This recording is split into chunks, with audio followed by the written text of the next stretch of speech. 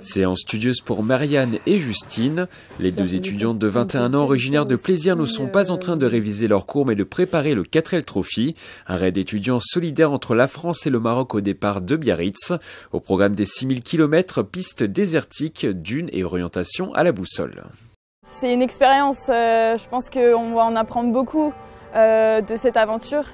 Euh, notamment au, niveau, humain. Si par exemple il y a des gens qui sont en galère, on se voit un peu s'arrêter et demander qu'est-ce qui se passe euh, pour aider quoi.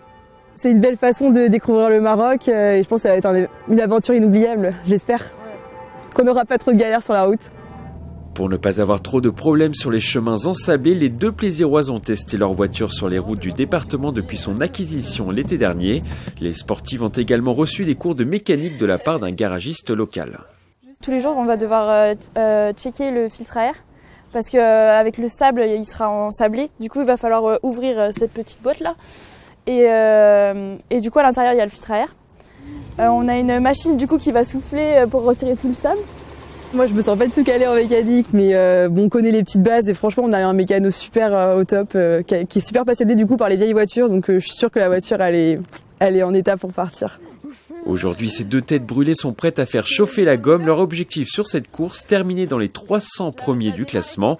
Pour cela, Marianne et Justine ont une stratégie, alterner leur rôle dans les dunes. C'est moi, du coup, le pilote, et euh, Marianne, ma copilote, qui va me guider tout au long du 4L. En vrai, euh, on va autant conduire euh, l'une et l'autre, mais comme c'était moi qui, qui avais proposé 4L Trophy, je me suis mis en tant que pilote. Mais officiellement, on est toutes les deux pilotes. Prochain arrêt pour les deux plaisiroises le 20 février prochain. Elles devront se rendre au village départ à Biarritz avec leur 4L rose pour une dernière vérification technique avant le grand départ. Le retour est lui prévu le 3 mars avec des souvenirs à plein la tête.